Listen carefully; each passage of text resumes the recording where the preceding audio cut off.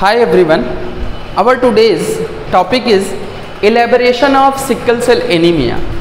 मैंने एक term use किया है elaboration of sickle cell anaemia elaboration कहने का मतलब जो रिमेनिंग पोर्शन कल हम लोगों ने कवर किया था due to few technical fault आगे की वीडियो अपलोड नहीं हो पाई, अगर आपने नोटिस किया हो तो फिर उसी, वहीं से वीडियो को कंटिन्यू करेंगे कुछ क्वेश्चंस टैकल करेंगे जो हमसे नीट या एम्स में पूछे गए हैं और इसकी जेनेटिक बेसिस को कंपाइल करेंगे। इज़ इट क्लियर तो अगर आप लोगों ने फ़र्स्ट पार्ट इसका नहीं देखा है सिक्कल सेल एनीमिया का तो please go for that and watch it again okay तो चलिए स्टार्ट करते हैं sickle cell anaemia as we know sickle cell anaemia में हमने प्रीवियस क्लास में डिस्कस किया था, ये आटोसोमल रिसेसिव डिसऑर्डर है। कैसा डिसऑर्डर है student it is autosomal recessive disorder आप लोगों ने समझा था? रिसेसिव डिसऑर्डर ये जो डिसऑर्डर है, ये किसका एग्ज़ाम्पल है student it is a example of point mutation point mutation कहने का मतलब क्या है?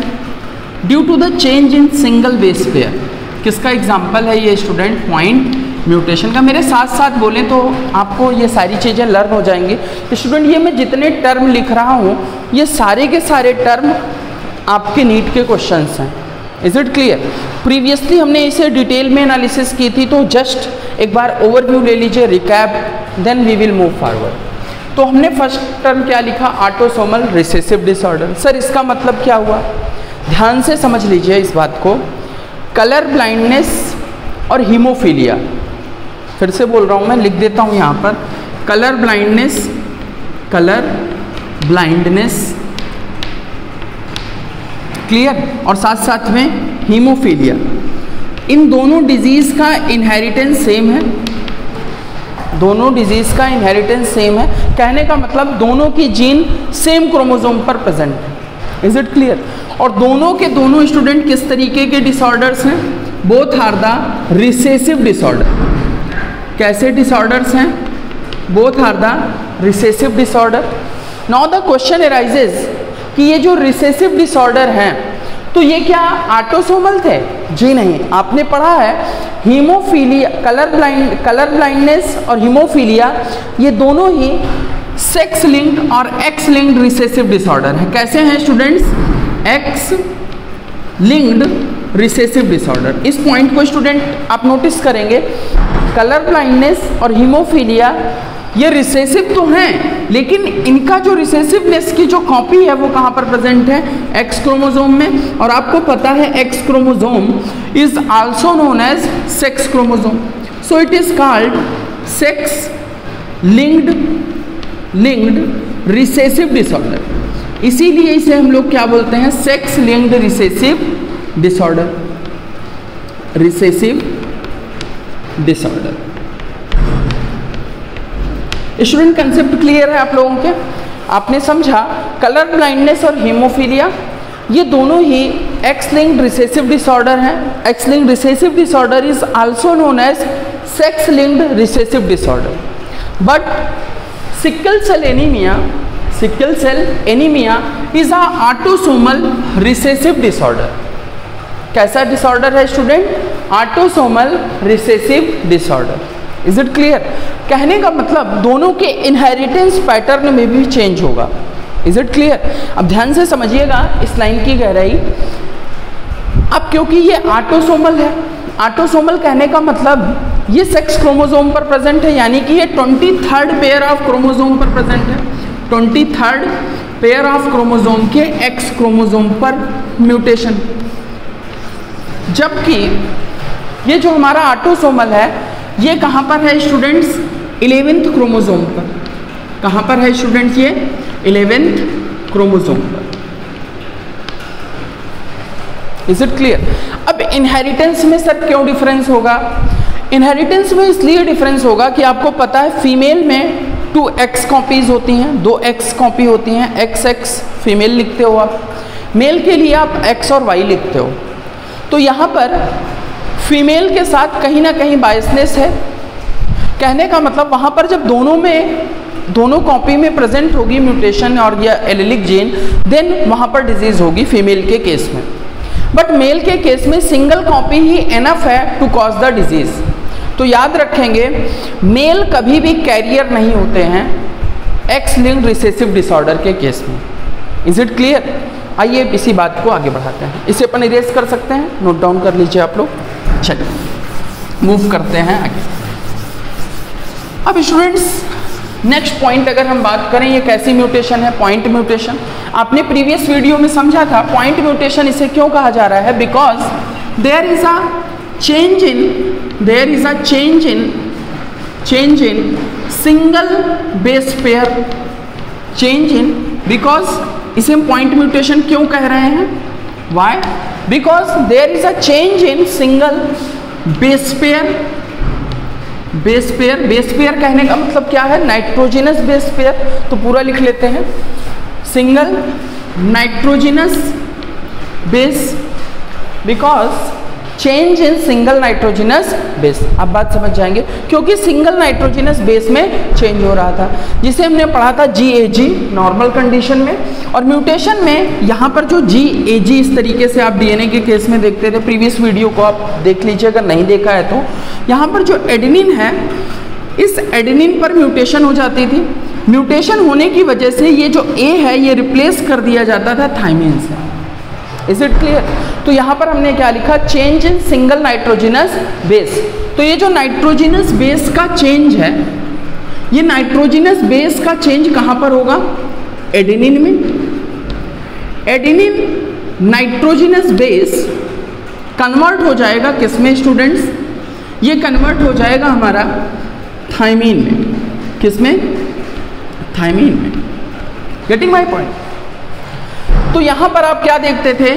जी ए जी क्लियर यहाँ पर एक ही जगह पर क्या आ जाता था? थाइमिन डीएनए के केस में। यहाँ पर क्या आ जाता था? जी टी सी क्लियर अब क्योंकि आपको पता है डीएनए से एमआरएनए बनता है और एमआरएनए से प्रोटीन बनती है। इज़ इट क्लियर तो यहाँ पर ये जो जी ए जी है जी ए जी फाइनली ये जो जी ए जी है, ये किसको इन इनकोड करता था? मैं एम वाले स्टेप को स्किप कर रहा हूँ। ये जो यहाँ पर एम बनने के बाद आप देखते थे, यहाँ पर क्या बन रहा था? ग्लूटामिक एसिड क्या बन रहा था स्टूडेंट्स ग्लूटामिक एसिड ये क्या है? एक निगेटिवली चार्ज अमीनो एसिड है। ये ग्लूटामिक एसिड कन्वर्ट हो गया चेंज हो गया किसमें स्टूडेंट्स वैलिन में। किसमें चेंज हो गया किसमें कन्वर्ट हो गया स्टूडेंट ये वैलिन गेटिंग माई पॉइंट तो ये जो glutamic acid negatively charge amino acid है, ये वैलिन में जो कि निगेटिवली चार्ज अमीनो एसिड नहीं है नॉन पोलर अमीनो एसिड है, इसमें कन्वर्ट हो गया.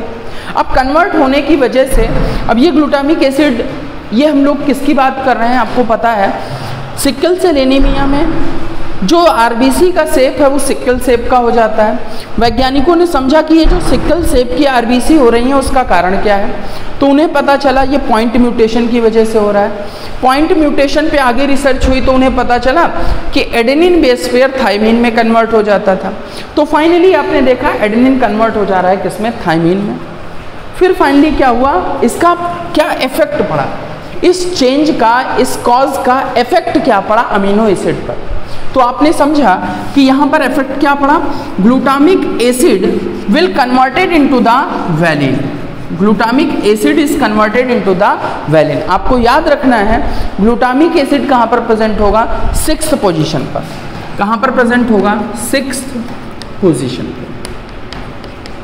कहाँ पर प्रेजेंट होगा स्टूडेंट्स सिक्स पोजिशन पर। I hope you are are getting my point clear है? अब ध्यान से समझिए, इसकी वजह से अपन यहाँ पर क्या लिख रहे हैं? पॉइंट म्यूटेशन हुई चेंज हुआ कहाँ पर? इन सिंगल नाइट्रोजिनस बेस अब आपसे पूछा जाता है एग्ज़ाम में, ये जो चेंज है पॉइंट म्यूटेशन है, ठीक है सर ये सब्सटीट्यूशन म्यूटेशन है प्रीवियसली आपने डिस्कस किया। यहाँ पर रिप्लेसमेंट हो रहा है वन नाइट्रोजिनस बेस का अनदर नाइट्रोजिनस बेस में। So it is called substitution mutation what is substitution mutation a mutation in which replacement of one nitrogenous base into another nitrogenous base.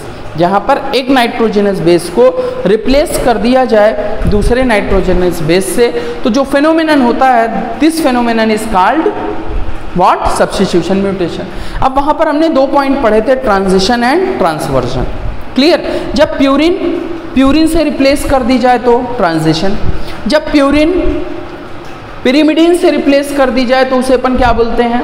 Transversion is it clear तो हम आपने समझा था transition और transversion ये दो type थे सब्सिट्यूशन म्यूटेशन के। जहाँ पर ट्रांजिशन का मतलब होता था प्यूरिन प्यूरिन से रिप्लेस हो जाए या फिर पिरीमिडीन पिरीमिडीन से रिप्लेस हो जाए। क्लियर यहाँ पर आप देख पा रहे होंगे एडेनिन और थाइमिन यहाँ पर आप देख पा रहे हैं एडेनिन और ग्वानिन क्या है? प्यूरिन है। यहाँ पर एडिनिन जो कि प्यूरिन है प्यूरिन किसमें रिप्लेस कर दी जा रही है? थाइमिन में। क्लियर कहने का मतलब ये जो म्यूटेशन है, ये ट्रांसवर्जन म्यूटेशन है। कैसी म्यूटेशन है? ट्रांसवर्जन ये स्टूडेंट एम्स में पूछा जाए, गया है तो प्लीज़ इसे फोकस करिएगा। कैसी म्यूटेशन है ये? Transversion it is what transversion transversion क्यों है? बिकॉज़ यहाँ पर एडिनिन किसमें कन्वर्ट हो रहा है? थाइमिन में। इज़ इट क्लियर तो यहाँ पर ये जो एडेनिन है एडेनिन है, ये क्या है? प्यूरिन है। और प्यूरिन किसमें कन्वर्ट हो रहा है? थाइमिन में। थाइमिन क्या है? Pyrimidine thymine is what pyrimidine I think आपको कंसेप्ट समझ में आ रहा होगा। पिरीमिडीन समझ जाएँगे आप लोग। तो ये जो कन्वर्जन है एडेनिन का थाइमिन में, यानी कि प्यूरिन का पिरीमिडीन में क्लियर इस फेनोमेनन को हम लोग क्या बोलते हैं? Transversion mutation it is called what transversion mutation getting my point तो ये सारे कंसेप्ट पे हम लोगों ने बात की थी तो आपने क्या क्या सीखा सिकल सेलेनीमिया एक आटोसोमल रिसेसिव डिसऑर्डर है। ये पॉइंट म्यूटेशन की वजह से होती है। ये पॉइंट म्यूटेशन का एग्ज़ाम्पल है। और ये यहाँ पर जो म्यूटेशन किस टाइप की है? सब्सिट्यूशन म्यूटेशन या पॉइंट म्यूटेशन तो वो किस टाइप की है? ट्रांसवर्जन टाइप की है। इज़ इट क्लियर अब बात आई कि सर ये जो सिकल सेल एनीमिया है सिकल सेल एनीमिया है, ये क्वालिटेटिव डिसऑर्डर है या क्वांटिटेटिव डिसऑर्डर है? तो आपने इसे भी डिस्कस किया था it is a qualitative disorder कैसा डिसऑर्डर है student qualitative disorder qualitative disorder में आप क्या देखते हैं? The quality of haemoglobin beta chain और you can say beta globin की जो चेन है, उसकी क्वालिटी चेंज हुई है। ये क्वालिटी क्यों चेंज हुई है? Due to the change in quality of amino acid किसकी क्वालिटी में चेंज होने की वजह से? अमीनो एसिड की क्वालिटी में चेंज होने की वजह से। यहाँ पर ये निगेटिवली चार्ज अमीनो एसिड था। यहाँ पर ये non polar type amino acid आ गया। Valine is not a negatively charge amino acid is it clear that's why ये अमीनो एसिड चल के एक प्रोटीन बनाते थे, जिसे आप जानते हो हीमोग्लोबिन ये जो हीमोग्लोबिन है, पूरी एक पॉलीपेप्टाइड की चेन है। हीमोग्लोबिन के बारे में भी आपसे मैंने डिस्कस किया था कि ये हीमोग्लोबिन कैसी प्रोटीन है। हीमोग्लोबिन कैसी प्रोटीन है? ग्लोबुलर प्रोटीन है। अगर अपन यूँ कहें कि इसके स्ट्रक्चर के बारे में आपने पढ़ा, ये क्वार्टरली स्ट्रक्चर होता है। दो अल्फ़ा की चेन्स होती हैं और दो बीटा की चेन्स प्रेजेंट होती हैं यहाँ पर। तो यहाँ पर ये जो बीटा पॉलीपेप्टाइड है, बीटा पॉलीपेप्टाइड, इसी को हम क्या बोलते हैं? Beta globin. Beta globin chain की, का जो सिक्स अमीनो एसिड है, इस सिक्स अमीनो एसिड पे ग्लूटामिक एसिड के प्लेस पर कौन सा अमीनो एसिड आ जा रहा है? वैलिन। फिर से सुने। हीमोग्लोबिन जो ट्रांसपोर्ट करती है ऑक्सीजन को और CO2 को। क्वार्टरली स्ट्रक्चर में आप देखेंगे, यहाँ पर it is made up of four polypeptide one two three four out of four there is a beta globin beta chain और बीटा पॉलीपेप्टाइड उसी को हम क्या बोल रहे हैं? बीटा ग्लोबिन इस बीटा ग्लोबिन के सिक्स पोजीशन पे अमीनो एसिड प्रेजेंट है। भाई protein is made up of amino acid तो बहुत सारे अमीनो एसिड हैं। उसमें से किस अमीनो एसिड पे चेंज हो रहा है? सिक्स पोजीशन के अमीनो एसिड पे। तो इस पॉइंट को आपको याद रखना है। बीटा ग्लोबिन चेन किसकी? हीमोग्लोबिन की। क्लियर सिक्स पोजीशन में अमीनो एसिड में कौन सा रिप्लेस किया जाएगा? Glutamic acid is replaced by valine आपके नीट के एग्ज़ाम में वो स्टेटमेंट में कंफ्यूज करने के लिए आपसे क्या कहते हैं? Valine is replaced by glutamic acid तो आप बोलेंगे दिस स्टेटमेंट इज़ इनकरेक्ट और रॉन्ग क्यों रॉन्ग बिकॉज़ यहाँ पर आप देखें, क्या वैलिन को रिप्लेस किया जा रहा है? जी नहीं. Glutamic acid is replaced by the valine getting my point तो इस तरीके से आप क्वेश्चंस करेंगे तो आपसे हो पाएँगे। आपने समझा? ये क्वालिटेटिव डिसऑर्डर है। Because the quality of beta globin is disturb due to the change in glutamic acid that is an amino acid into the valine आगे मूव करें। आई होप जो प्रीवियस क्लास का रिमेनिंग पोर्शन था, उसे हम लोगों ने इतनी देर में कवर अप कर लिया है। जिन लोगों को अभी भी कुछ डाउट्स हैं प्लीज़ एक बार प्रीवियस वीडियो को ज़रूर वॉच करें बिकॉज़ कि हमने अभी तक बेसिकली नए पैटर्न में उसी चीज़ उन्हीं चीज़ों को कंपाइल करने की कोशिश की है। इज़ इट क्लियर तो आगे मूव करें हम लोग सिक्कल सेल एनीमिया में। स्टूडेंट सिक्कल सेल एनीमिया को मैं शॉर्ट में क्या लिखूँगा? एस सी ए आप लोग समझ जाओगे। Sickle cell anaemia is it clear तो आइए समझते हैं सिक्कल सेल एनीमिया के बारे में कि ये सिक्कल सेल एनीमिया किस तरीके की चीज़ है। आपने समझा it is a example of point mutation remember this point student focus करिएगा। एस सी ए यानी कि sickle cell anaemia it is a example of it is a example of lethal gene किसका एग्ज़ाम्पल है student lethal gene का। It is the example of what codominance जी हाँ A B blood group roan coat are the example of codominance but remember sickle cell anaemia is also an example of codominance किसका example है ये? को। Dominance का student काफ़ी important है।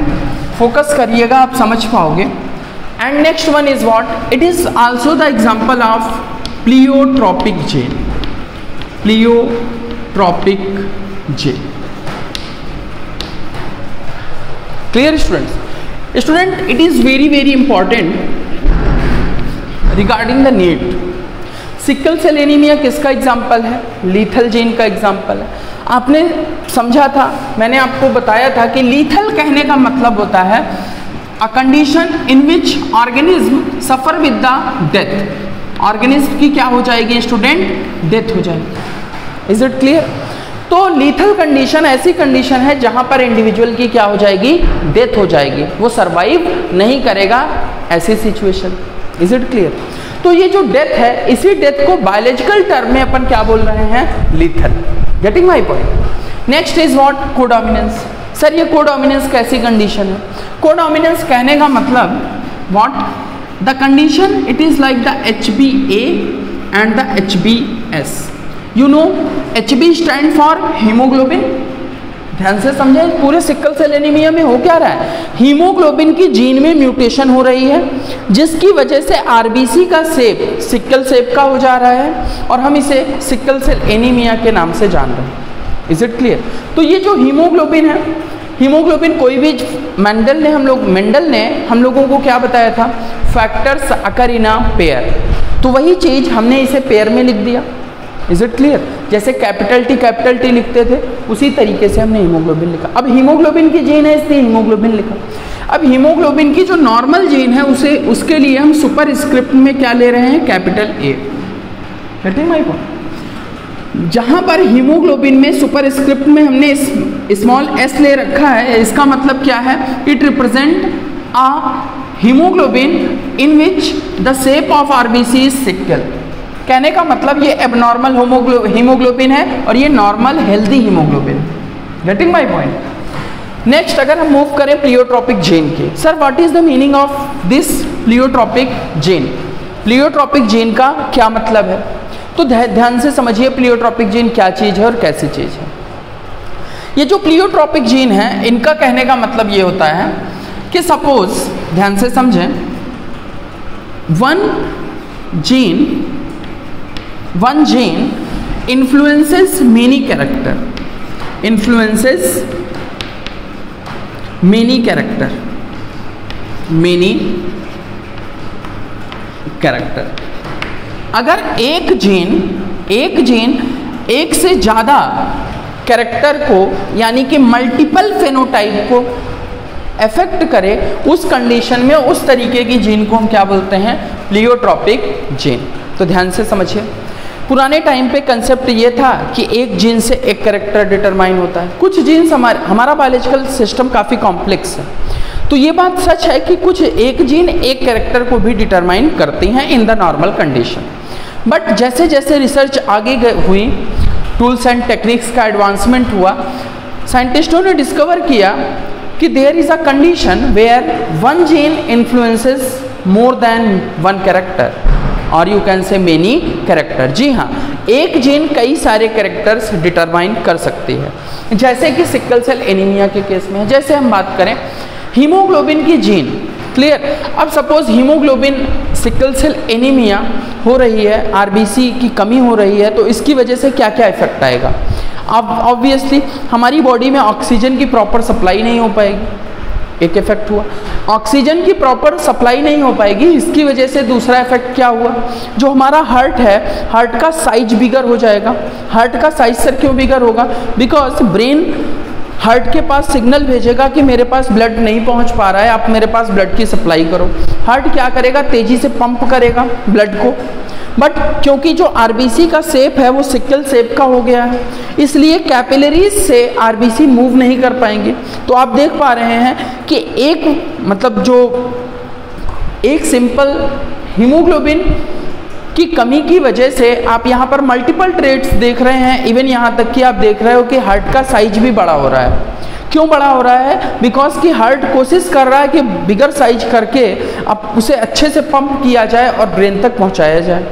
Is it clear इसके अलावा जो हमारी पल्मोनरी हैं लंग्स हैं, वहाँ पर भी सप्लाई ब्लॉकेज होगी। तो आप देखेंगे there are multiple effects in our body due to the mutation in a single chain getting my point वही चीज़ हम लोगों ने समझी कि एक जीन यहाँ पर इन्फ्लुएंस कर रही है एक से ज़्यादा करेक्टर्स को। गेटिंग माई पॉइंट हाँ पॉलीजेनिक अलग केस है जो स्किन या इंटेलिजेंस के एग्ज़ाम्पल में हम देखते थे। पॉलीजेनिक इनहेरिटेंस का एग्ज़ाम्पल क्या था? Skin colour in the human beings as well as intelligence in the human beings अगर हम इंटेलिजेंस की बात करें तो अगर हम आपसे कहें, ऐसा तो होता नहीं है कि एक बंदा सुपर इंटेलिजेंट है ब्रिलियंट है और दूसरा स्टूपिड है। आप देखते हो there are a lot of variant बहुत सारे वेरियंट हैं। एक स्टूपिड है, एक ब्रिलियंट है एक्स्ट्रा ऑर्डनरी है, लेकिन इनके बीच में भी एवरेज हैं। कुछ और कुछ बिलो एवरेज हैं। There are multiple variants it is due to the polygenic inheritance polygenic inheritance में जस्ट अपोजिट होता था इसका polygenic poly means many genic means genes जहाँ पर मेनी जीन्स हो और करेक्टर सिंगल हो। इंटेलिजेंस करेक्टर सिंगल है but there are numerous gene in our body getting my point तो आपको ये पॉइंट समझ में आ गया। कि सिक्कल सेल एनीमिया किस तरीके से pleiotropic gene is it clear अब यहाँ पर कोडोमिनेंस कैसे है sir H B A and H B S दूसरी condition third one is lethal gene lethal gene death की कंडीशन कहने का मतलब डेथ की कंडीशन में क्या होगा students H B H B S and H B S ये रेयरेस्ट केस है। ये कैसा केस था स्टूडेंट रेयरेस्ट केस है। जनरली ऐसा होता नहीं है कि ये कंडीशंस अराइज हों बट जब कभी भी इस तरीके की कंडीशंस अराइज होंगी रेयरेस्ट हैं बट इस केस में हमेशा इंडिविजुअल की क्या हो जाएगी? डेथ हो जाएगी। इससे हम क्या बोलेंगे? Lethal gene getting my point तो आपने सीखा, sickle cell anaemia is also the example of lethal gene it is also the example of codominance it is also the example of pleiotropic gene तो स्टूडेंट्स आपसे statement बनाए जाते हैं और आपको बता, आपसे वो पूछते हैं which one is the incorrect or you can say which one is the wrong तो इस रॉन्ग स्टेटमेंट को फाइंड आउट करने के लिए आपको ये सारी इंफॉर्मेशन होनी चाहिए। क्लियर अब समझते हैं कि यहाँ पर मैंने लिखा हुआ है कि लीथल कंडीशन जो H B S H B S की है, ये रेयरेस्ट है कैसे? ये कंडीशन रेयरेस्ट है कैसे? क्लियर क्वेश्चंस कर लें क्या? आइए कर लेते हैं। देखिए, ध्यान से। एक क्वेश्चन ही कर लेते हैं, इसी के थ्रू हम समझ लेंगे कि कैसे ये रेयरेस्ट है। क्वेश्चन अगर आपसे पूछा जाए how many how many genotypes how many genotypes. Genotypes are possible in possible in in sickle cell anemia. Sickle cell anaemia में कितने पॉसिबल जेनोटाइप्स हैं? स्टूडेंट आप लोग प्लीज़ मुझे कमेंट करके बताओगे कि आपके आंसर्स राइट थे या रॉन्ग थे। तो प्लीज़ आप लोग खुद से करके बताइएगा, अगर टू है थ्री है फोर है फाइव है। How many types of genotypes are possible in the cell anaemia आप क्वेश्चन को वीडियो को पॉज करके खुद से क्वेश्चन सॉल्व करें। आपके जो भी आंसर्स आ रहे हैं, आप मुझे कमेंट सेक्शन में बताइएगा कि आपका आंसर सही था या गलत था। क्लियर आइए क्वेश्चन को सॉल्व करते हैं। यहाँ पर दिया गया है कितने पॉसिबल जेनोटाइप्स हो सकते हैं सिक्कल सेल एनीमिया के केस में। तो obviously students how many genotypes हो सकते हैं देखें? एक कंडीशन ये हो सकती है हीमोग्लोबिन ए हीमोग्लोबिन ए यानी कि ये कंडीशन कैसी है? Homozygous normal condition homozygous normal condition clear first genotype is this second one is what H B A and H B S ये स्टूडेंट कैसी कंडीशन है? हेट्रोजाइगस की कंडीशन है and it is a condition of carrier it is a condition of carrier किन की condition है student ये? Career की कंडीशन सिमिलरली अगर हमसे कोई बात करे एच बी एस और एच बी एस ये स्टूडेंट कैसी कंडीशन है? ये लीथल कंडीशन है डेथ की कंडीशन है, या फिर हम यूँ कहें, ये डिजीज्ड कंडीशन कैसी कंडीशन है? डिजीज्ड की कंडीशन है, जहाँ पर इंडिविजुअल को डिज़ीज़ हो जाएगी that is the sickle cell anaemia it is a lethal condition lethal condition ये कंडीशन कैसी है हमारी? होमोजाइगस रिसेसिव क्लियर अब यहाँ पर हम होमोजाइगस डोमिनेंट कह सकते हैं, इस बेस पर कि ये नॉर्मल क्लियर है? यहाँ पर आपने देखा how many possible genotypes one two three how many genotypes are possible? 3 so, the correct answer is 2 b. Clear? Answer is D आप समझ पा रहे होंगे कैसे? वन टू थ्री कितने पॉसिबल जेनोटाइप्स हैं यहाँ पर? Three so the correct answer is B answer यहाँ पर क्या हो गया हमारा? बी तो स्टूडेंट्स जिन लोगों के आंसर्स रॉन्ग है वो अपने कंसेप्ट को क्लेरिफाई करें और अगर आपके आंसर सही आए हैं तो प्लीज़ मुझे कमेंट करके ज़रूर बताएँ। इज़ इट क्लियर आगे मूव करें। आइए, इसे इरेज करते हैं। स्टूडेंट एक और क्वेश्चन अभी जैसे मैंने भी लिखा हुआ था कि जो लीथल कंडीशन है, ये रेयरेस्ट कंडीशन है। कैसी कंडीशन है स्टूडेंट रेयरेस्ट कंडीशन तो कई बार एम्स में आपसे क्वेश्चंस कुछ लैंग्वेज के फॉर्म में बड़ी सी लैंग्वेज बना लेते हैं। और वहाँ पर वो आपसे पूछते हैं सिक्कल सेल एनीमिया में सिक्कल सेल एनीमिया में वो कंडीशन बताएँ जिसमें प्रोजेनी डिजीज्ड हो. हमसे क्या पूछते हैं कंडीशन बताएँ प्रोजेनी कैसी हो डिज़ीज़ हो. कैसी कंडीशन प्रोजेनी कैसी हो स्टूडेंट डिजीज्ड हो। यानी कि प्रोजेनी को क्या हो सिक्कल सेल एनीमिया हुआ हो। ऐसी कंडीशंस बताइए। क्लियर क्वेश्चन समझ पा रहे हैं? हमसे पूछते हैं कि पेरेंट्स का जेनोटाइप बताइए। पेरेंट्स का जेनोटाइप फाइंड आउट करने के लिए हमसे बोल देते हैं। क्या पूछते हैं हमसे? पेरेंट्स का जेनोटाइप बताइए। क्लियर और ऑफ़ स्प्रिंग का जेनोटाइप हमें दे देते हैं। ऑफ़ स्प्रिंग में हमसे बोल देते हैं offspring means what progeny progeny disease है, जिसमें कि सिकल सेल एनीमिया हुआ है तो क्या कंडीशंस होंगी पेरेंटल जेनोटाइप के? इस तरीके के क्वेश्चंस पूछे जाते हैं लैंग्वेज ट्विस्ट करके। तो प्लीज़ आपको सोचना आना चाहिए। तो आपको याद रखना है रेयरेस्ट केस है सिकल सेल एनीमिया सिर्फ़ एक ही कंडीशन है जिसमें प्रोजेनी को डिज़ीज़ होगी। वो कौन सी कंडीशन है जिसमें प्रोजेनी को डिज़ीज़ होगी? वो है कैरियर की कंडीशन यानी कि पेरेंट्स कैसे होंगे? ध्यान से समझें। जो पेरेंट्स होंगे इंडिविजुअल के, वो हमेशा कैसे होंगे? वो हमेशा हेट्रोजाइगस होंगे। कैसे होंगे स्टूडेंट्स हेट्रोजाइगस होंगे। H B A and the H B S ये हेट्रोजाइगस की कंडीशन है। ये स्टूडेंट मेल हैं और इन के अपोजिट में अपन क्या लिखेंगे? फीमेल ये भी कैसे होंगे? कैरियर होंगे। H B A and the H B S इनके बीच में अगर अपन क्रॉस कराएँ तो ऑब्वियस सी बात है, सबसे पहले अपन क्या करना होगा गैमेट बनाने होंगे। बना सकते हैं आप लोग। H B A and the H B S clear हम लोग यहाँ पर सर्किल बना लेते थे to depend to denote the purity of the gamete ताकि हम यहाँ पर क्या शो कर पाए? Purity of the gamete is it clear अब हम यहाँ पर अगर ऑफ़ स्प्रिंग बनाना चाहें तो कैसे बनाएँगे स्टूडेंट्स आइए ध्यान से समझते हैं। अब इस तरीके से आप पनेट स्क्वायर भी बना सकते हो डायरेक्ट भी कर सकते हो एज योर विश क्लियर अब यहाँ पर एच बी ए यहाँ पर क्या लिखेंगे अपन एच बी एस समझ पा रहे हैं सभी लोग H B A H B S similarly यहाँ पर एच बी ए और एच बी एस लिख सकते हैं H B A H B S अब ध्यान से समझें H B A H B A आएगा यहाँ पर H B A H B A clear students visible है H B A and H B A यहाँ पर लिखेंगे तो H B A and H B S H B A H B S समझ पा रहे हैं फिर यहाँ पर H B A and H B S H B A H B S is it clear यहाँ पर H B S and H B S H B S and H B S is it clear अब student ध्यान से यहाँ पर सिर्फ़ दो minute में ही अपन कंपाइल कर लेंगे।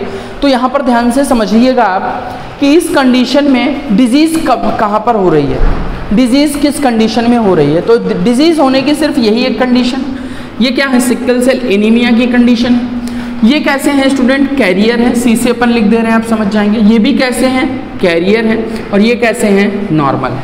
तो आप देखें नॉर्मल इंडिविजुअल्स कितने बने हैं? वन कैरियर इंडिविजुअल्स कितने हैं? टू जबकि जो डिज़ीज़ कंडीशन है वो सिंगल है और सिर्फ़ एक ही कंडीशन है जब इंडिविजुअल में डिज़ीज़ होगी तो क्या ये इंडिविजुअल सर्वाइव करेगा? नहीं। इसकी क्या हो जाएगी? डेथ हो जाएगी। डेथ हो जाएगी।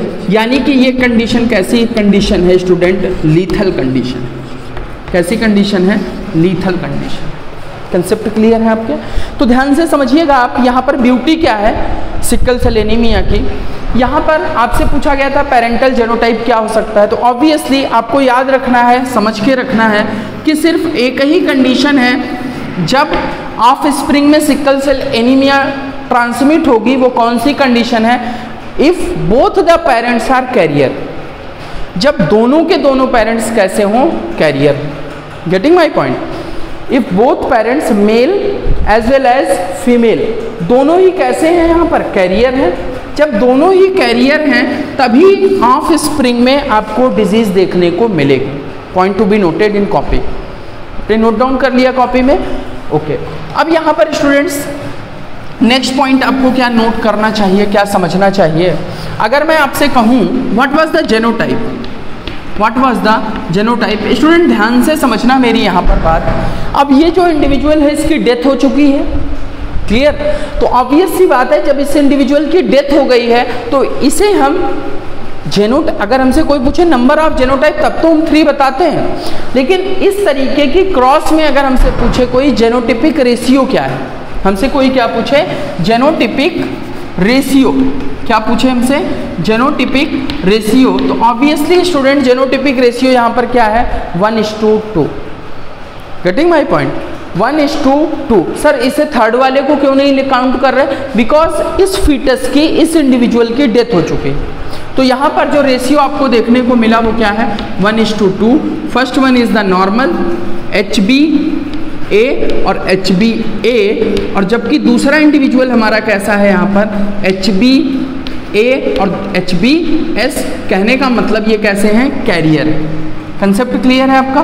फ़र्स्ट इंडिविजुअल कैसा है हमारा? H B H B A यानी कि नॉर्मल यानी कि नॉर्मल क्लियर जबकि एच बी ए और एच बी एस ये कैसा इंडिविजुअल है हमारा? कैरियर ये इंडिविजुअल हमारा कैसा है?